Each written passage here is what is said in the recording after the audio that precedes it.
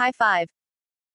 Ultimate Fighting Championship, UFC, will hold a live pre fight press conference for the upcoming UFC 262, Oliveira vs. Chandler pay per view PPV event, scheduled for this Sat. Night, May 15, 2021, inside Toyota Center in Houston, Texas.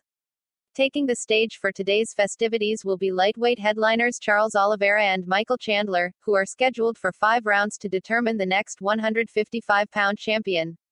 Joining them will be co-headliners Tony Ferguson and Beneil Dariush, a three-round battle with serious lightweight title implications. The live feed is expected to stream at 5 p.m.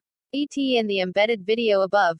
Mamania.com will deliver live round by round, blow by blow coverage of the entire UFC 262 fight card. For the entire UFC 262 fight card and PPV lineup, click punch the like button and kick the subscription bell.